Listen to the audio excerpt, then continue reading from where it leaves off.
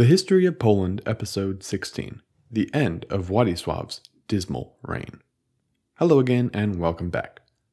I unfortunately have a mistake that I need to rectify.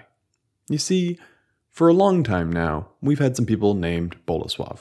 Right now, we're on Bolesław III. Only, as one of our listeners pointed out to me via email, thank you, Jake, it's not pronounced Bolesław, it's pronounced Bolesław. So, that was a recurring mistake. It will take a little bit probably for me to adjust to that just because it's so ingrained in my brain right now, but hopefully that won't happen again. Anyway, last time we left off with Zbigniew and Bolesław getting ready to face off against Sieciech and their father, Władysław. While the brothers had managed to convince their father to give them political authority and to split the state with them, they had overlooked the fact that Sieciech was still in his position as Count Palatine. This was an oversight they likely came to regret. Picking up with Sieciech, we'll hear from Gallus as he gives us a very detailed account of the struggle, very likely given to him by multiple first hand participants in the clash.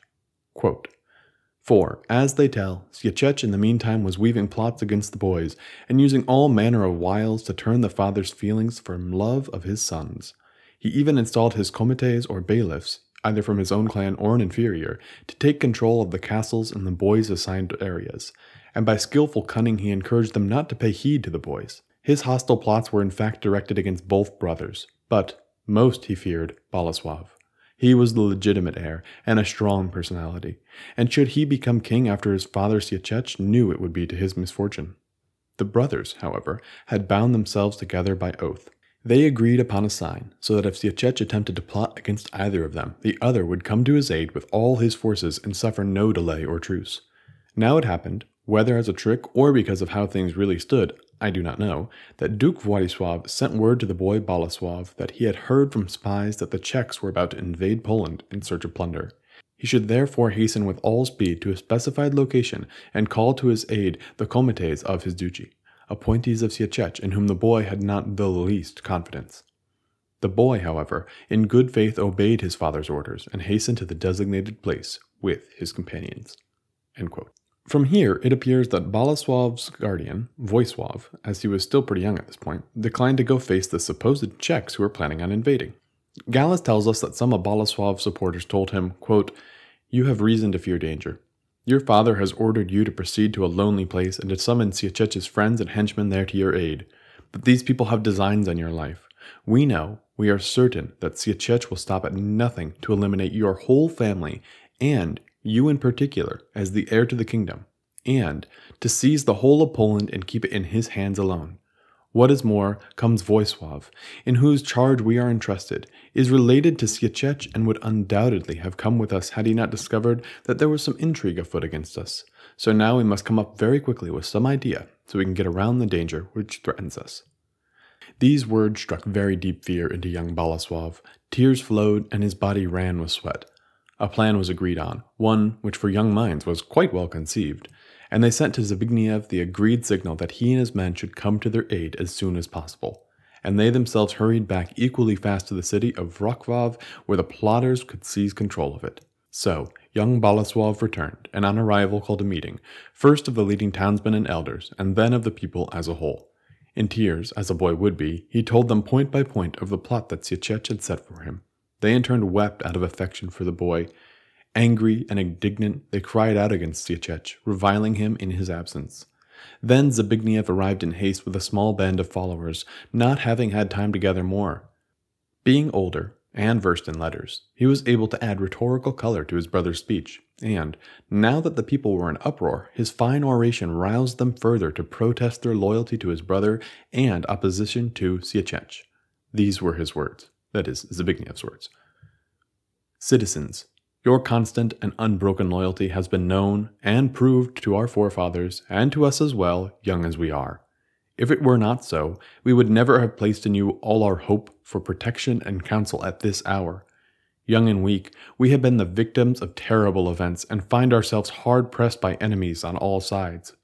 But our own people and foreigners alike know full well how much you have suffered for the plots that are directed against our lives by persons whose aim it is to utterly abolish the succession of our kindred and by turning order upside down to distort the inheritance of natural lords. Our father is old and infirm, and is less able to see to his own needs and ours, or to the needs of our country. Thus, with no one but ourselves to protect us, we have no choice.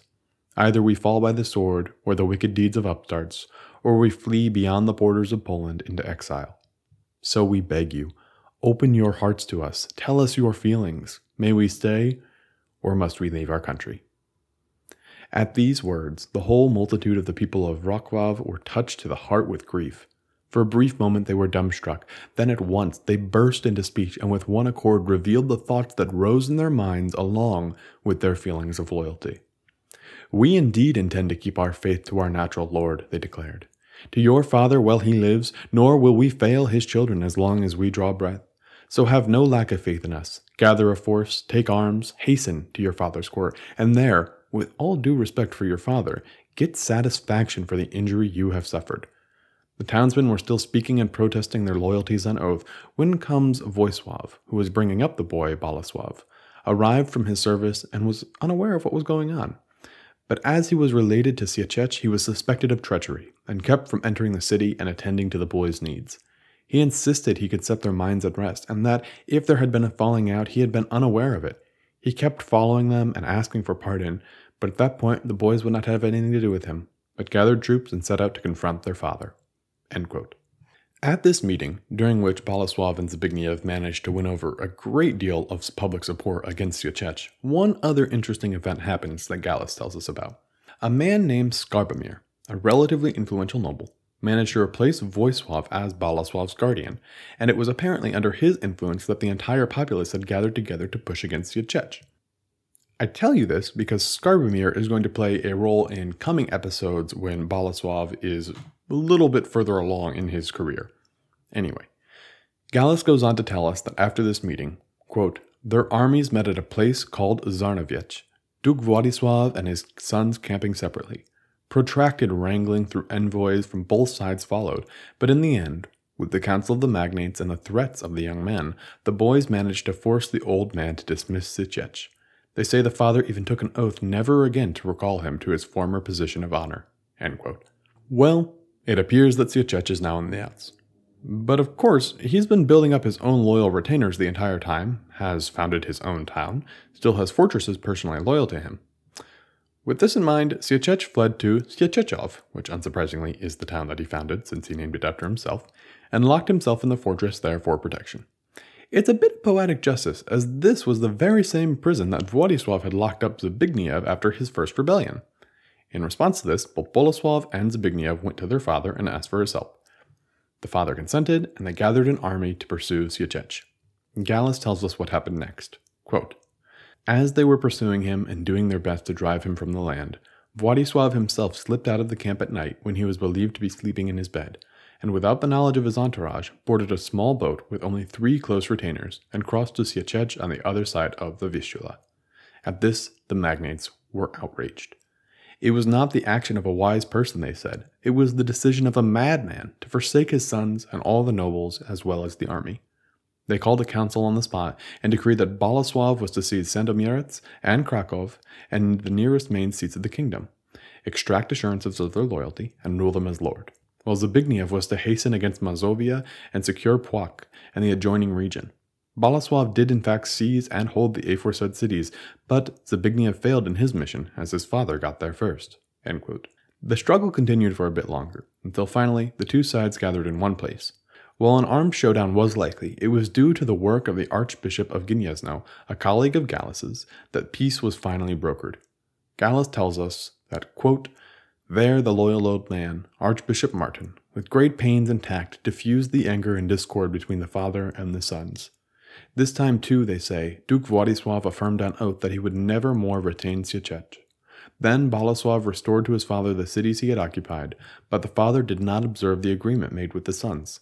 Finally, the boys pressured the old man to the point that they fulfilled their wishes of expelling Sieciech from Poland. But how this came about and how he returned from exile would be long and tiresome to explain. Suffice it to say that thereafter he was no longer allowed to exercise any authority. This is as good a place as any to end the tale of Sieciech, who seemed to have survived the war he had caused. But strangely, he was never heard from again, and there aren't really good records about what happened to him after this. But what of the stability of the Polish state, you ask? What of Władysław's relationship with his sons? Well, the events I just described happened in the year 1101, and Władysław died in 1102. So there wasn't much time for reconciliation, or apparently for Władysław to explain why he took the side of Sieciech against his own sons.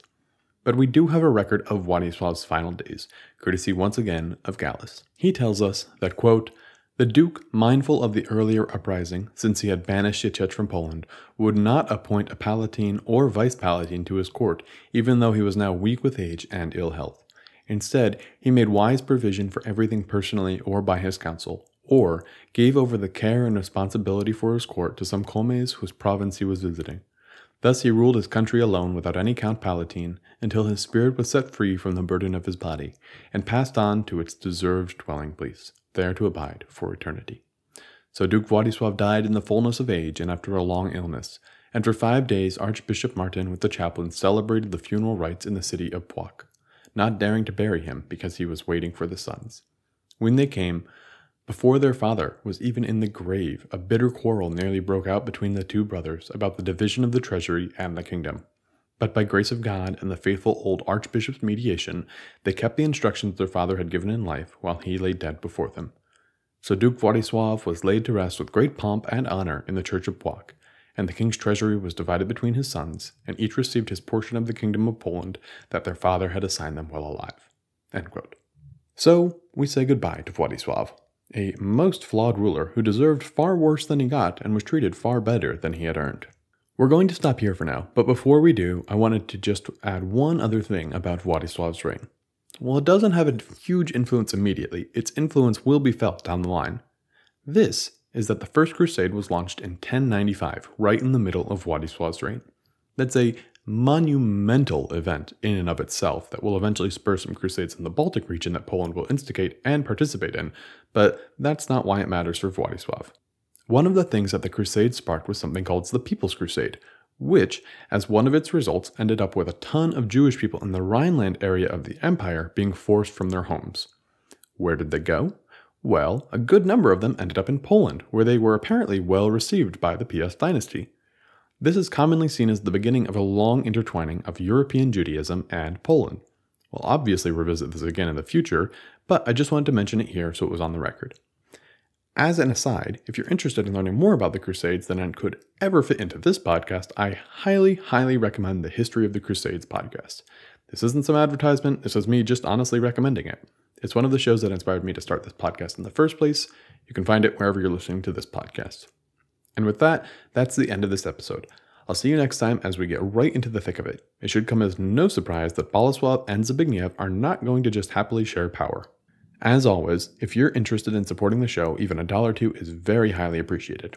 You can help out on Patreon at patreon.com slash history of Poland podcast. Or if you're interested in giving $3, you'll be able to get our forthcoming series on the origins of the Holy Roman Empire, which, if you're curious, will be coming soon. Thanks. See you next time.